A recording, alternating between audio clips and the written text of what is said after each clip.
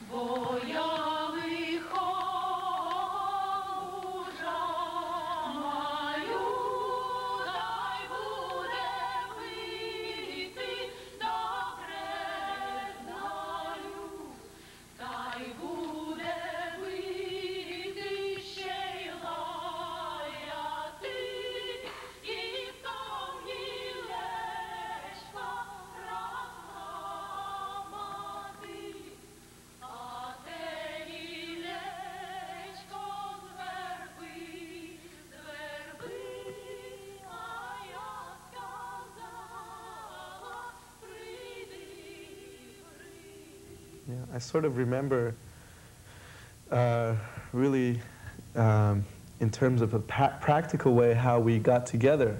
I think it was sort of a mutual um, uh, calling each other up. And we said that uh, we were excited about what, what was happened. And um, uh, little by little, we uh, worked our way, and uh, we saw that it wasn't that difficult at all.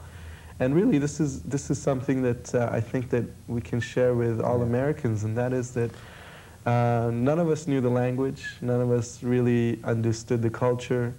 Uh, we went with a little knowledge of, uh, of what the Soviet experience might and could be, and um, that really this is open to everybody. That I think I think what you, the main importance to what, what this whole thing is is that um, as individuals, even as youth, we have the opportunity to get together, to formulate an institute or uh, a group of people who are our friends, who know each other, who can relate to each other and know the goals, the vision that Baha'u'llah does bring to us. And that is to go and, and, and do these kinds of things and share the love that we have for, for our faith. And that's very important. And it's not a situation where you need to be appointed or you need to be elected to do this. It's, it, this, is, this is very important what, what, this, what this offers, especially what Marion Jack Teaching Project offers. And it's to create a situation where the, the, the basic of peoples can get together as friends and formulate a project and go abroad and um, share the message of Baha'u'llah with the vigor and with the, the spirit. Uh, and that's very important to know that you can do that as an individual. It doesn't have to be a situation where it's very uh, organized and institutionalized and all this. It can be done as a grassroots effort. yeah, no qualifications did we No have at all. no qualifications at all. Maybe Joy can talk a little bit about what um, the Baha'i teachings are and uh, on how we uh, presented that when we were there in the Soviet Union. That's, that's pretty much what I was thinking too, how it was so exciting for them to hear of a, of a religion, you know, that, that was so practical yet spiritual. And I think they really got a hold on, on it Right. and just, they would get excited over and feed us with more excitement um, to, to see other people who we hardly knew suddenly becoming one in thought with us so quickly that it was, it was like um, the movement, it was like heat, the movement of atoms, and we just started, you know, moving. And it's this heat, this warmth that we felt with each other that was the most, it was so bonding in some ways that it's an experience that is as close to paradise I've ever, I've ever experienced because of that.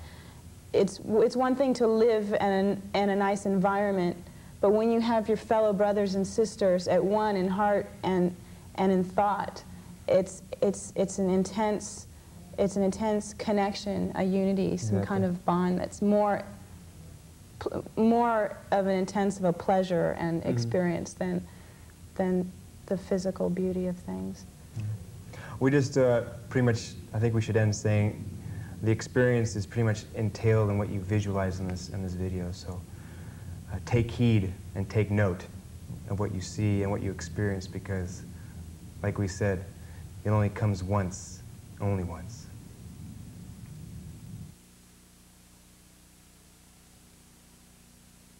Hi, my name is Susanna Dvortson. We just returned from a nine-week expedition called the Marion Jack Teaching Project to the USSR. We have 12 members in our group who are going to share their experiences in the USSR Bill, could you tell me briefly what your itinerary was in the USSR, which cities you visited? Yes, we started in Moscow and then went to uh, a city in Siberia called Ulan-Ude. Uh, it's in the Lake Baikal region. And we also visited a second city in the Lake Baikal region called Severobaikalsk. While in Severobaikalsk, there was side trips to three or four of the nearby villages. We then went from Ulan-Ude, uh, flew through Moscow, uh, spent a night in Moscow, took a train to Kiev, spent a couple of weeks in Kiev, uh, then took a train to Lvov, where we spent uh, 10 or 11 days, went back to Kiev for two or three days, and terminated the trip in Moscow, the whole trip taking some 64 days.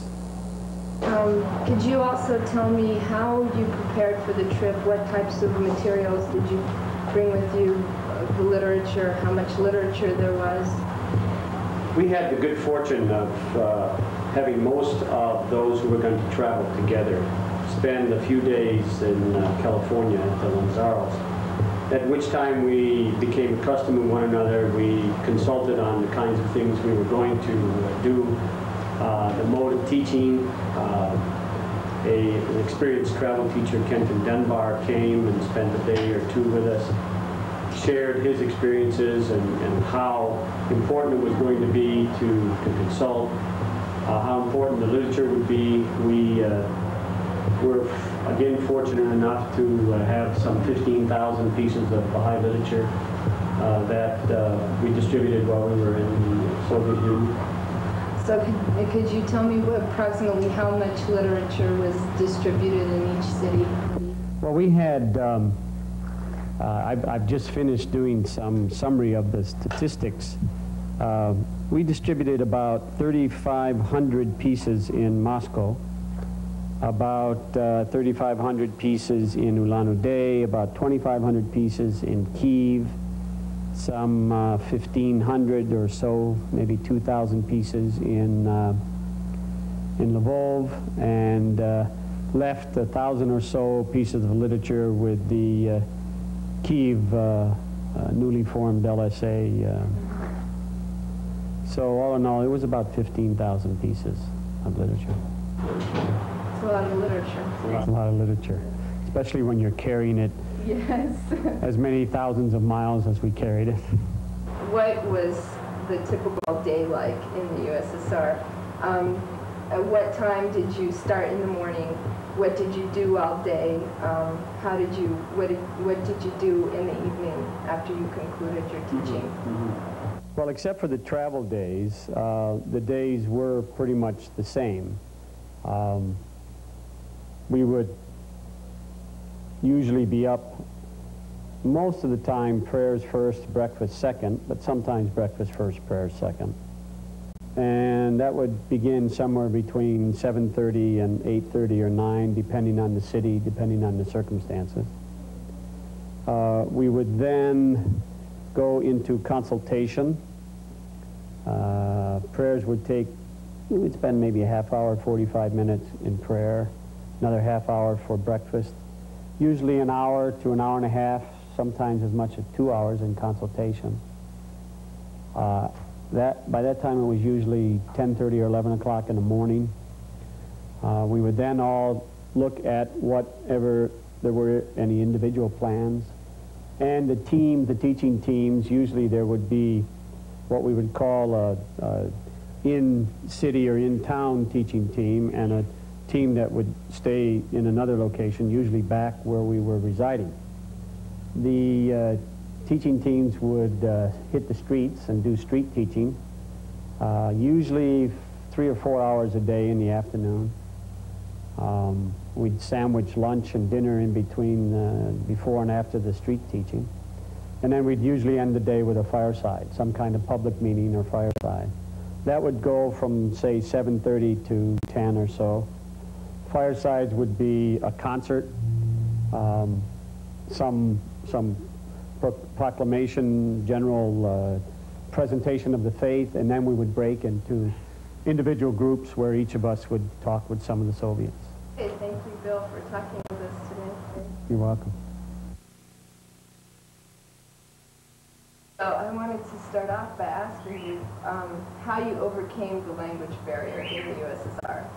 Well, I'd say initially we had to rely, well, of course we had to rely on translators. That was the most difficult part. And I only had one one quarter of Russian, which I did very badly in.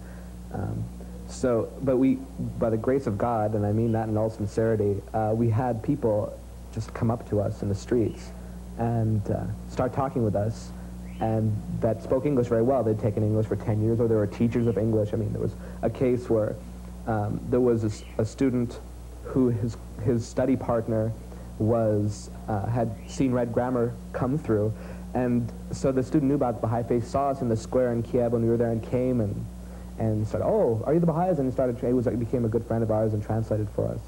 And in, even in Lvov, there was a man who came and just asked us who we were. We were in need of a translator in Lvov. We didn't have a translator. And so um, this man comes up to us, oh, who are you? And we said, oh, we're, the we're Americans. Oh, really? Why are you here? Oh, we represent the Baha'i faith. And we tell him a little bit about ourselves. And we start talking, and he invites me for, out for coffee. And then he says, why don't we go back to my flat? And we ended up talking for two hours.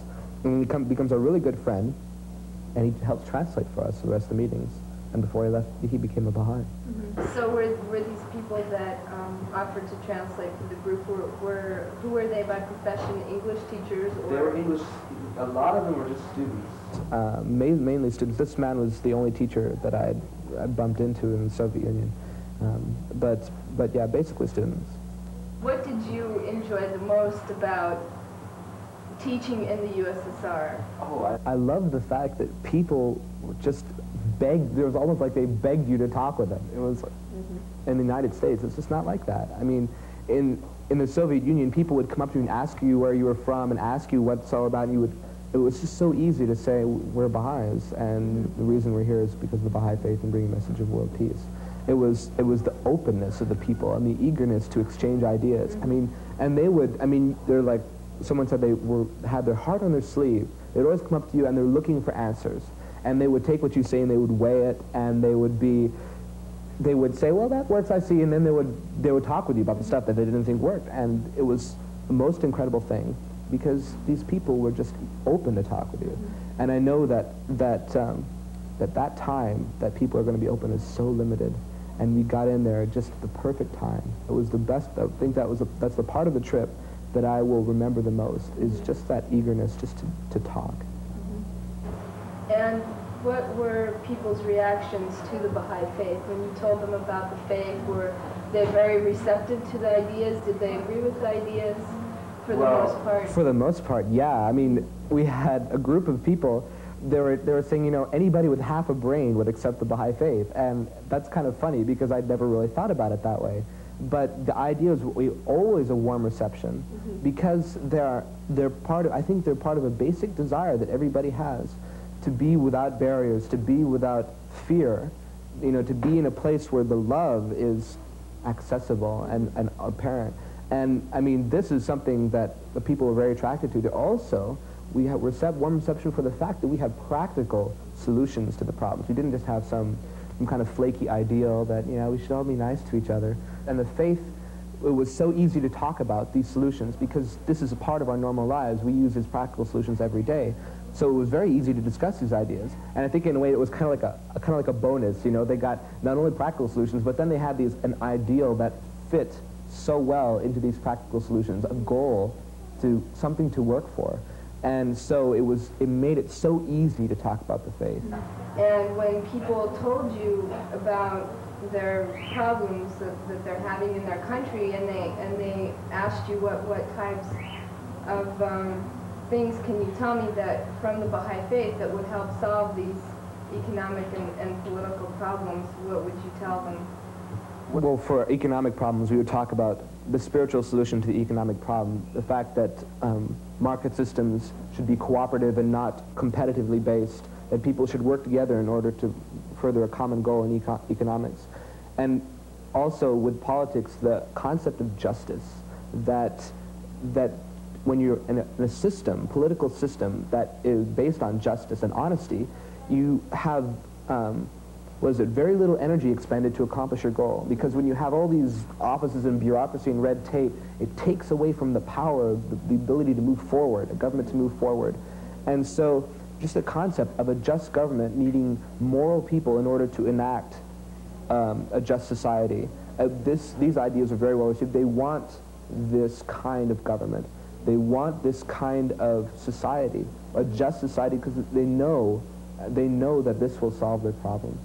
I understand that, that a select group uh, from the, the teaching project went on a raft trip in the, in the, in Siberia. And could you please uh, describe that a little bit and tell me what, um, why did you go on this trip, first of all, and what were your experiences on it, and then how were you able to present the faith to the, to the Soviets that accompanied you on this trip? the physical trials just never ceased. From the first minute we set on, we the bus ride is supposed to be mm-hmm. five hours long. Ended up being 11 hours long. We didn't get to where we wanted to go, and finally, when we did get to where we wanted to go, it started to rain. The tents weren't waterproof, and it was. And I mean, the one night it was raining, and the tents were soaking, and we were cold. We had bread to eat. And it was just like the first order of the day was to live through the night. We didn't have any fire because some people who had dry matches were further back and hadn't arrived to our campsite. And so it was just like, just to survive. And it was amazing because your focus becomes so different in that environment. But we held up, and the, the, the thing that kept us going, I think, was the fact that we weren't there to be tourists. Mm-hmm. We were there to teach the faith. And that kept us going. And after that, everything got really nice. And the next night, it was beautiful. And that night, we said, we'll present the faith to these people. And we did, and it was very warmly received. And it sparked discussion that went on for about two or three hours. And as a result of that trip, three people became Baha'is, and strong Baha'is at that, because they were our friends first. We became really good friends with everybody. And in that, they got to see us how we were naturally, because we weren't putting up a front or anything. But uh, even then, they said, you know, the Americans handled it really well. But wanted to say, you know, it wasn't because we were American. The Americans, you know, Yeah. they might not be so receptive to that. Um, so they they were really strong. They came to all the meetings afterwards, and we made so many friends. I mean, they were our friends. It didn't really matter if they were Baha'is or not, but it, it really made us feel so good that that these people believed in what we believed in. Actually, I mean, you know, all of them said that we believed in this all our lives, and and it was just was faith that brought us together. Okay, so you found that the raft trip um, helped unify the, the, the the Baha'is. Oh, yeah, it, it brought together all of us. There were 15 Soviets on the, on the trip, and there were nine Americans. And this just, I mean, it was, it was just like we were event, eventually one family, although we had the language barrier still. It was just like seeing old friends afterwards, you know. It was so, it was so worth it. The time expended, we, we could have never imagined that something that wasn't always direct street teaching could accomplish so much, and yet it did. Well, it was a great experience. Parto, can you please tell me, when you presented your program to the people in the USSR, when you went from city to city, and I understand that you gave concerts, what, how would you set up your concerts? Uh, basically, the, the format was uh, to keep it as simple as possible. We would invite people uh, from the streets or uh, casual acquaintances to come to a meeting place. And uh, the uh, setup of the program was to sing some songs about the importance of this day, about the importance of love, unity, and peace, and have us speak individually, all of us in the group, uh, one or two principles of the Baha'i faith, and um, have a period of questions and end with uh, an American Indian dance. Uh, uh, one of the members of our group does that, and uh, basically just lo- just love and, and uh, sharing of ideas and so on and so forth with the people. And after you completed the singing part of your of the concert, you handed out. Did you hand out literature to the people? of course, we'd uh, pass out literature to those people who were interested enough to come to the meetings, so everyone had one. And what was usually the response of, to your concerts? Did a lot of people gather for the concerts? Yes, uh, I would say we had an average of uh, 50 to 100 per concert that we had, sometimes even more, 200, 300. And the interest uh, was such that everybody stayed after the program and wanted to talk to us, uh, to ask us questions. They would read the literature right in front of you and ask you questions. Who is Baha'u'llah? What is this idea of the Baha'i faith? So on and so forth.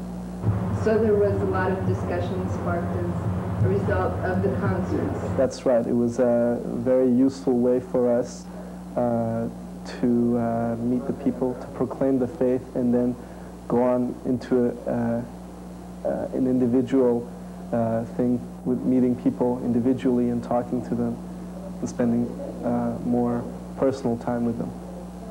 Okay, thanks, Parto, for taking the time to talk to me today. You're welcome, Susanna. Hi, Tone. Hi, How are you? very good. Okay, great. Are you glad to be back? Yes and no. I'm glad to be back, but I miss being with the Soviet people very much. You miss it. I understand that you're planning also to, to go back to the USSR. Yes, I am. I feel that the need is very urgent for the Baha'is to go there because these people are really seeking something, seeking a truth. And I feel that we cannot lose this opportunity at this point, and we must make a decision and arise and go. And so I have made that decision. That's great. So I wanted to get right into my question that I want to ask you, and that is about the music that you played. You were the, the lead musician for the Marion Jack Teaching Project.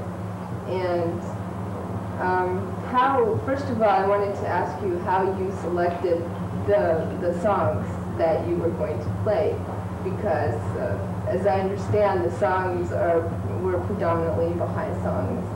So how did you pick the songs? Where did they come from? Well, we tried to get a variation of music from around the world, and we had some African songs, we had some Irish songs, um, we had some songs that one of the group members has written, and one of my songs that we sang. So it gave a, a nice, nice uh, musical presentation of the world and what the Baha'is have written around the world. And it was just fantastic. The people just loved the culture of hearing different music played from around the world, and especially the country western music that we also played. Yes, it was fantastic. So they had a, a very positive response to Oh, to the music, and also you tried to get the audience involved, as I understand. One of the songs that you sang was uh, uh, an African song that, that you, you wanted the people to participate in. Yes. I learned this song when I was in Hawaii. I lived in Hawaii and I became a Baha'i in Hawaii. And a believer from the States who went to Africa taught us this song, which is called Babala Gumbala. And it was absolutely the perfect song for all of us to join in unity in singing the song because it's very easy to sing. And um, music is absolutely an international language. There, once we began singing, the people just loved every minute of it. you had the opportunity to hear some Russian folk music and to hear um, different music from the USSR. How did you, um, what was your reaction to, to the music that you heard there? Well, it was very interesting. Um, in Ulan-Ude in Siberia, we were invited by a musical institute that asked us to perform and also to listen to some of the traditional um, musics that come from that area, eh, which was very, you know, the, these musicians were accomplished musicians that perfected their skill through years of practicing, which was so enriching for us. Um, you know, these people are so culturally aware and they love their culture and they love to express it through song and dance. And that made it more exciting for us to present our music to them also, just as, as we were exchanging gifts. It was very wonderful. Mm-hmm. And I'm sure you loved the music there, didn't you? I loved the What was your impression also of the music? I enjoyed it a lot, actually. There was a performance that, um, one performance that I recall that, that I saw in Moscow at the hotel where we were staying at, and uh, that was um, folk dancing, and the group was dancing with, the, with their costumes, and they were extremely energetic. It was like a combination of uh, ballet and, and tap dancing and different things, and it, it was just beautiful. It was so beautiful that I wanted to cry because I had never seen anything like it. I hadn't seen anything like that in the USA, so you know, I'm sure that that, that group, wherever they go, that they would be a tremendous success. Yes, I think this is one thing they really feel proud of, is when they are doing their cultural dances and songs. It makes them really feel proud because um, we've noticed um, in the Soviet Union that the people are really longing for something. And at this time, they only have this to hold them together, it seems like. And when we, of course, went there and presented um, the Baha'i faith, it was something that they were longing for, I Yeah. feel like. Yeah. Did you find that, that after you played that that opened up, that the people were more receptive to the message of Baha'u'llah as a result of hearing the Baha'i songs? Um, yes and no. Of course, music immediately breaks down a lot of barriers. And when they heard us singing and smiling and talking about world peace, um, they were laughing with us. And when they sang the songs with us, absolutely they felt that they were a part of this belief. And there are also many other times that we just ga- gave a presentation without a concert that they were so receptive. So, uh, of course, it does help in every instance that um, music obviously really helps bind a lot of us together. And they know, I read, read something that um, one of the Soviet poets or an author wrote that music was a way for our souls to fly. And I was amazed when I heard this, when somebody told me this, and it was like, well, we know this too, and they know this, so it, obviously these people are very intelligent. Mhm, Yes. And you also are part Native American, so you did do a Native American dance mm-hmm. as part of the concert. And what, what was the people's reaction to this? I suppose that most of them did not, had never seen a Native American costume. What was their response to that, and, and how did you perform the dance? What was the purpose of the dance? Well, first of all, the people were quite surprised and very excited. Um, they'd never seen American Indian before, and I'm not full, I'm half. Um, they, especially in Siberia, in Ulan-Ude, which is a republic of the Buryat Republic, and immediately when I danced, they immediately felt a part of um, of what, what I was representing at that point because the Buryat people recognized that their dances were very similar, our costumes are very similar, and they are very well-read people and they know how much the Indians have suffered in this country in the past and in the present, and so they can identify immediately what I was representing. But it was absolutely fantastic. The people just loved seeing this culture expressed, and I just loved doing it for them. Um, the dance was honoring these people. Um, we have many dances um, within our tribe, and one of these dances was an honoring, honoring dance, which I presented to them, which is a very prestigious thing. And after you did the dance, you did, I believe it's called a friendship circle? Uh, yes. Or- And, and so that also broke down the barriers when you had people go around the circle and shake each other's hand and introduce themselves. Everybody in the room immediately would get to know each other. And so This- that was also, Mhm. This was um, part of our presentation. Um, it was basically three portions of our concert, which was first music, then a brief introduction of the faith, then um, uh, my presentation of a dance, and then the very ending would end with a handshake ceremony which is everybody would get into a circle and we'd all shake and in- introduce ourselves to each other. So immediately after the talk broke down this barrier and we could go right into the crowd and one-on-one talk to the people who were very interested, who were saying, yes, I believe in this, I want to become a Baha'i. There was one lady, for instance, in Lvov, and I, she just blew me away. She said, uh, this name, Baha'i, should not be named Baha'i, it should be named my name, because I always felt this way. And this should be my religion, and it's exactly what Abdu'l Baha had told us. He said that there are hundreds of people, thousands of people out there who are Baha'is who have not yet heard the message. And she was one of these Yeah. people that Abdu'l Baha talked about.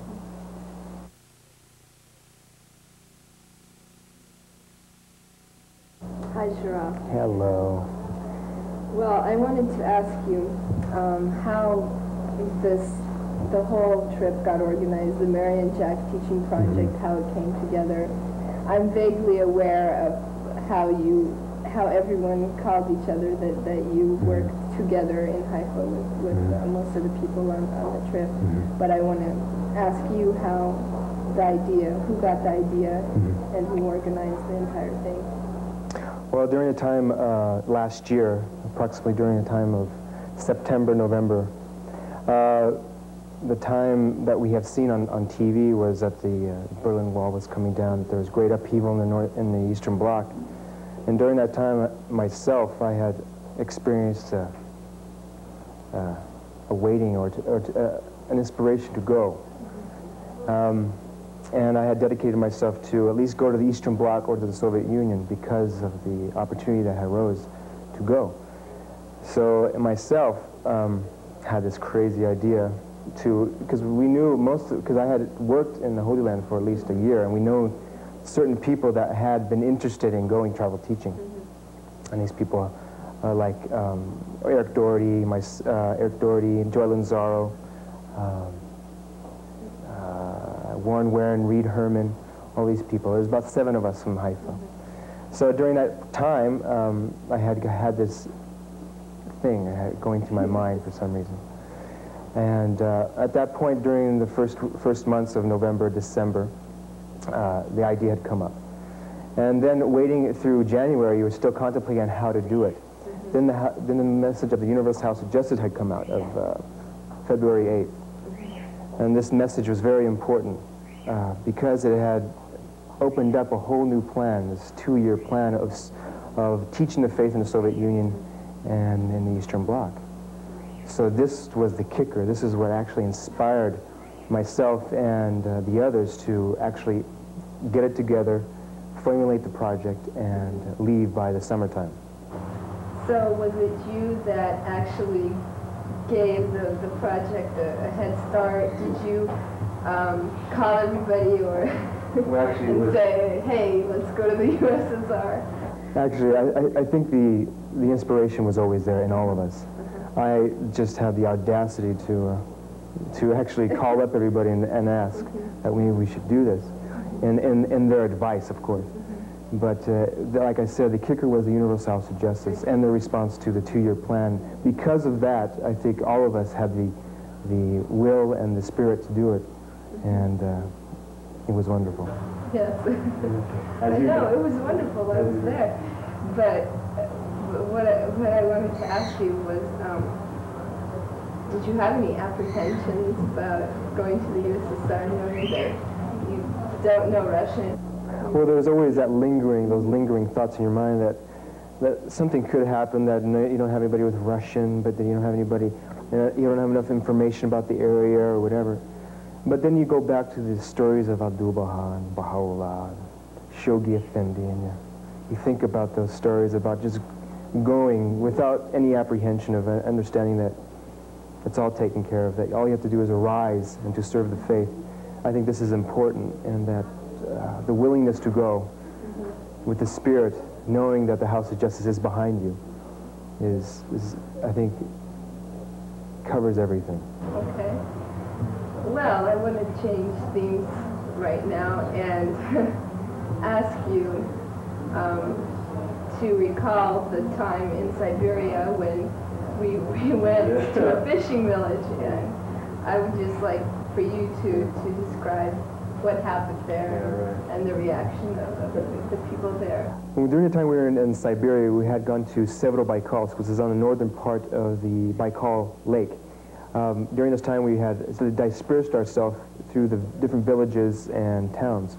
And we had gone to this uh, fishing village that, that was called the Baikal Village, which is in the northern region. And it, we had gone on this dirt road in the back areas where they had this fishing village part of the city, this, this town.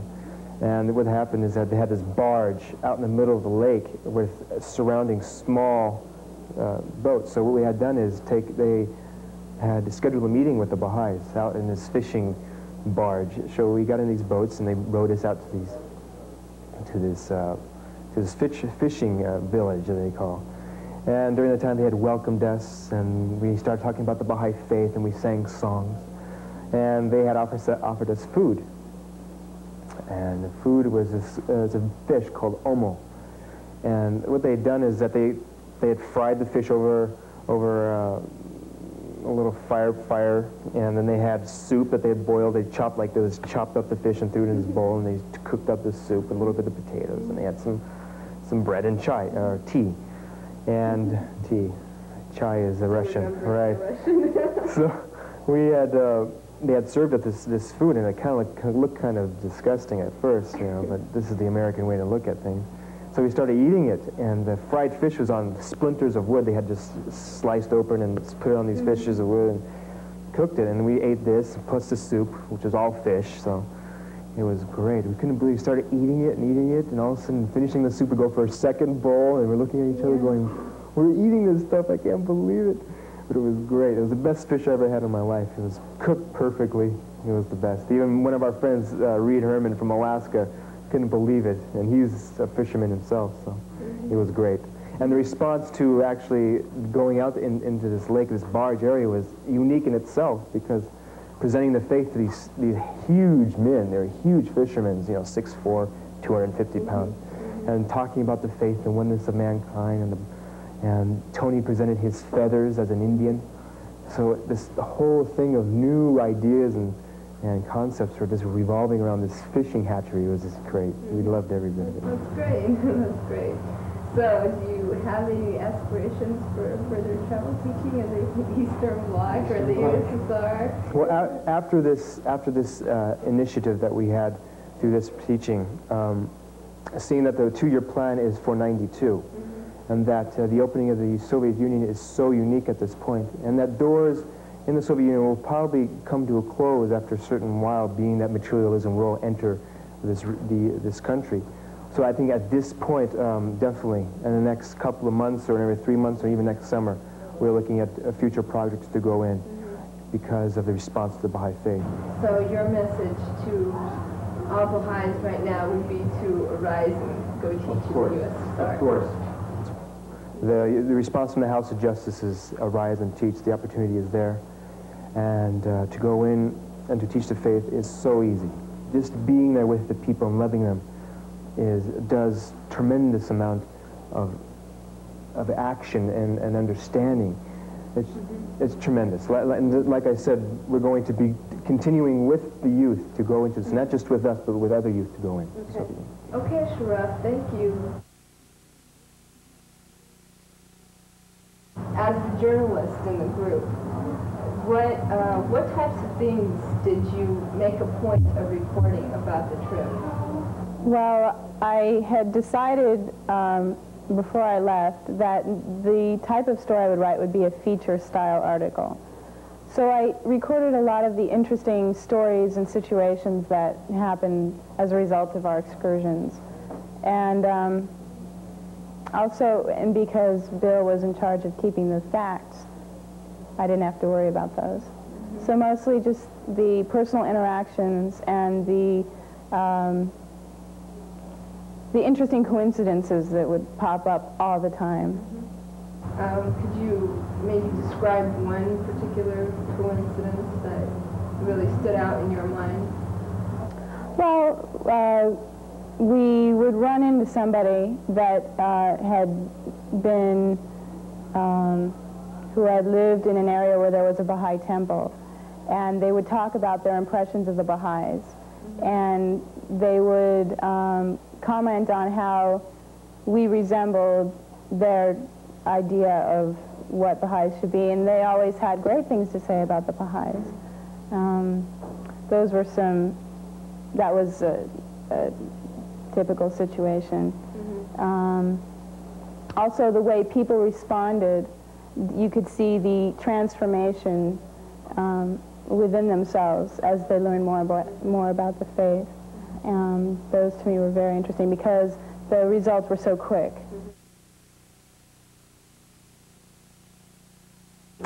Dobre Utra, Ninya Zavut, Esther, Kak Vasavut. Hi, Esther. Hi, Susanna. Oh, it's good to see you Yeah. here today. Yeah. So, um, when you when we got to Ulan-Ude, this is a great story. I want you to, to tell the story um, about how when the other people went on the raft trip and you stayed in Ulan-Ude and you were trying to contact the Baha'is that were already there. There were a few Baha'is that were in Ulan-Ude and tell us what happened, how a Baha'i found you. Ulan-Ude has, is a town of about 300,000, or almost 400,000. So everybody was on the camping trip, and Bill and I took the bus into the city thinking we'll find the other Baha'is. We get on the bus, and it dumps us off at the wrong stop. So we get on another bus, and Bill is fussing because we're late. Late for I don't know what, but we were late. We get, we ride along the bus, it's very crowded. We get off at the center of the town, and this young boy comes up to us, and I thought, he's going to ask us either for jeans or to American money. And I look at him, waiting for him to ask for jeans or American money, and he says, excuse me, are you Baha'is? And we said, yes. I thought, could he tell by the look on our faces? or what, you know? But, and it turned out that Bill had had a Baha'i button on the bus, and he knew we were Baha'is, and he was looking for us. And that's how, that was the nature of the assistance we got, the spiritual assistance. In a town of 400,000, it was like apples were falling off trees. And, and the boy's name is Dima. And when you look at Dima, you see counselor in his Yes. face. Dima is wonderful. He's just wonderful. That's all the Baha'is were, but some of the Baha'is were very special, and Dima was one. So it was that easy. And then, and then I don't know what else. yeah, yeah, it is good. And then there was a lady who dreamed about us in the camp in Kiev, and we showed up, and she was sleeping on a bench, and she opened her eyes, and she saw that Bill and I, and she, she knew something important was going to happen because she had dreamed about us a few days before. It's amazing. Yeah, yeah. So it was good. It was good.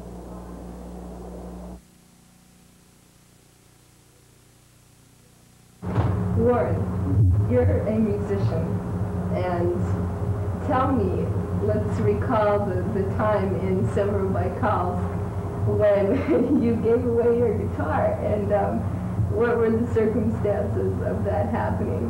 Well, um, we were in Sierra Severobaikalsk, and our plane was scheduled to leave, and everything was ready to go.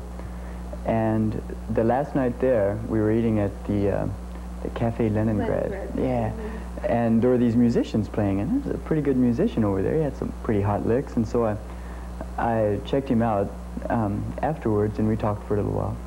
The next day, we played in the street a little bit, and he saw me, but he didn't make any contact with me.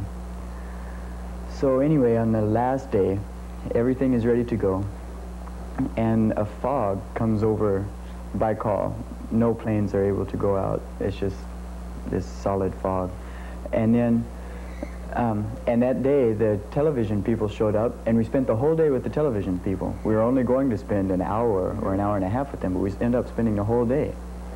We thought, nah, there's some divine providence there. And the next day, at 7 o'clock in the morning, these musicians knock on the door and say, are the Americans still here? And they come and they, they want to talk to me. And this guitarist has seen my guitar, and he wants desperately to, to see if I would trade him my guitar for two of his guitars. And so we, we talked about it, and, and of course I had an electric, a red electric American-made guitar, and had all of the all of the extras that an American-made guitar has. And it ends up that he had studied music for four years in Ulan-Ude, and the only way he makes any money is by playing music. Mm-hmm. So I had to weigh that. And then when I saw him play, I realized that a musician of this stature needs an instrument to be able to, to do this. Mm-hmm. So I played his instrument, and he was also offering me an acoustic guitar. We thought about it, and so finally I had him leave the room, and I had all the guitars laid out on the bed, and I said a few prayers for detachment, a prayer for decision, and then I made my decision. And so I presented him my guitar, and oh, he was so happy. And there was a friend that was with him, and this friend was a camera repairman. Mm-hmm. And the friend offered offered me a camera because they didn't think that I would I would do this, that I would sacrifice my guitar.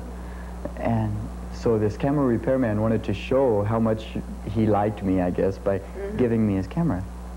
And I said, no, no, I'm not going to take your camera from you. And he said, no, please take it. And I said, no, I'm not going to take it. And he said, you wouldn't be putting me out, and it's a gift, and you have to, you have to accept a gift. Mm-hmm. And so I said, I'll accept it on one condition, that I can give it away, that it's mine. And he said, it's yours. So he gave it to me. And as soon as I had it, I went inside and talked with Joy for a little while. We went back to the cafe, Leningrad.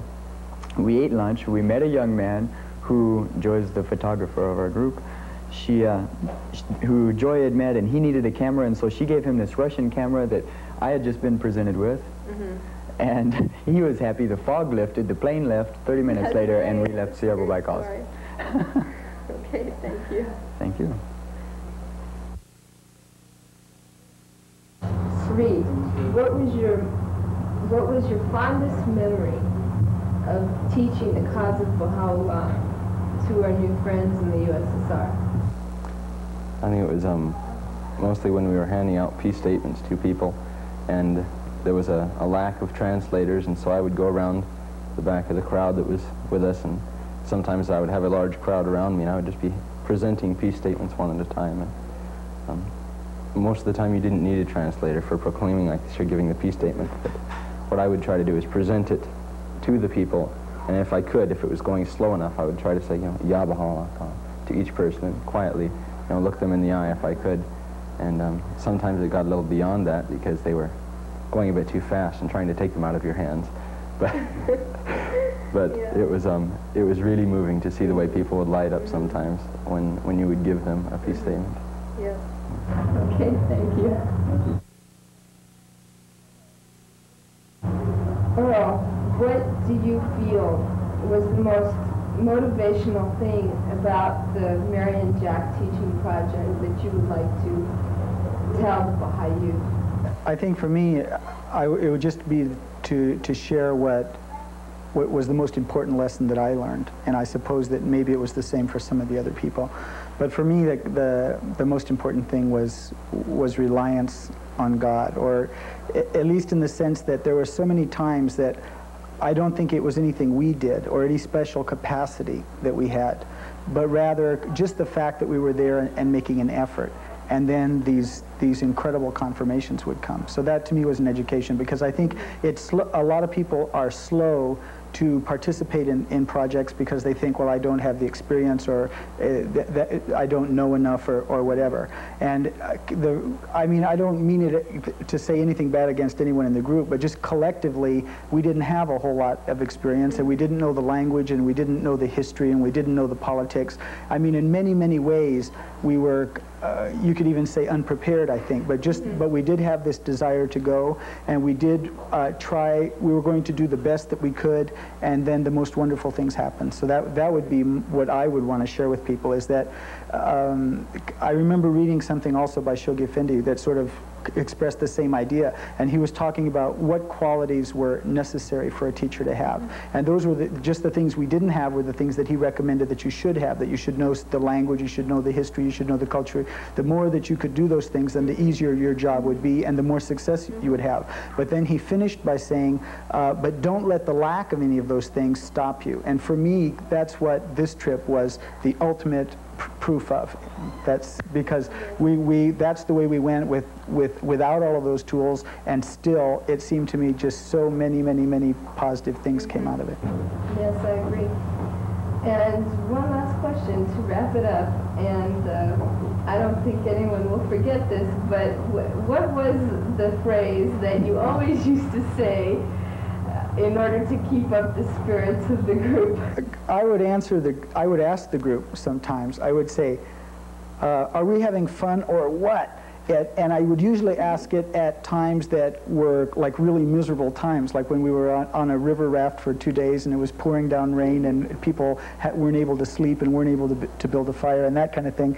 But I kind of learned a lesson there too because there were times like when there were times like when you, you know, when you try to stay on top of things with humor, and then I, I would try to do that. But then I, later on in the trip, then sometimes it, things were sort of difficult for me, and then it would, it might be someone else's turn to come to me and, and try to cheer me up because Yeah. I guess there's all times when there's good times and there's bad times, and then there's there's mm-hmm. times when some and nobody's all up or down at the same time. So I guess it's it's generally important that those that are kind of on top of, of things at any given time that they try to cheer up the rest because it, it isn't long before you're having problems with something and then you need someone to kind of Yes, pull, pull you through. So so I, I think we all tasted both both ends of the of the spectrum. Okay.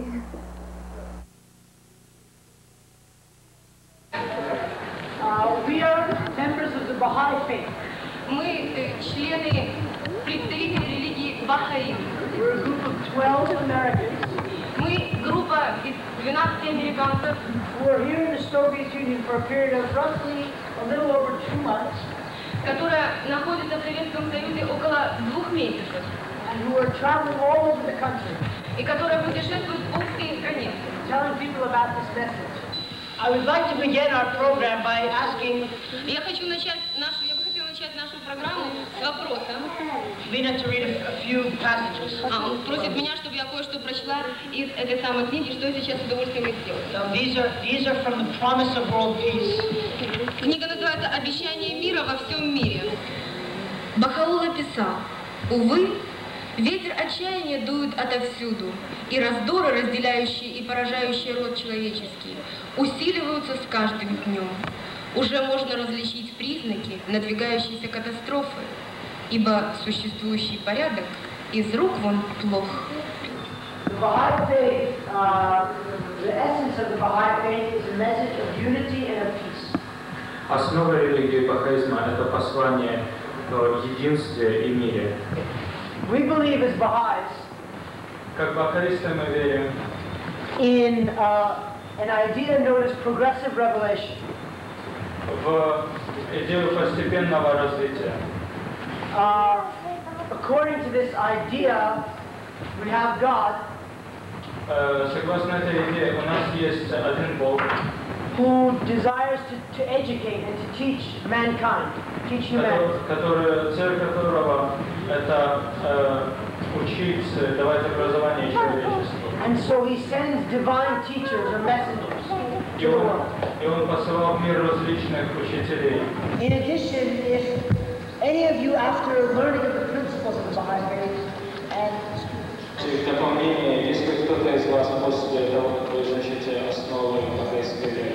and getting a taste for the hope and the vision and the dream for peace and unity that the Baha'i faith has, и почувствуете, э, почувствуете вкус э, э, в идеях э, всеобщего мира и единства, которые э, лежат в основе этой веры.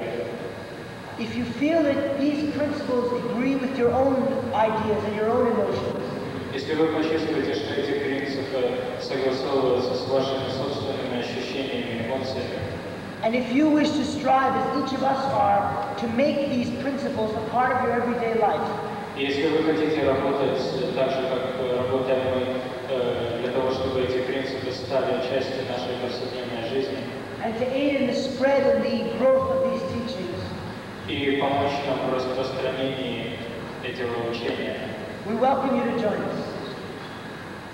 Добро пожаловать, присоединяйтесь. Чубатые ребята, ой, чубатые ребята, ребята, ребята.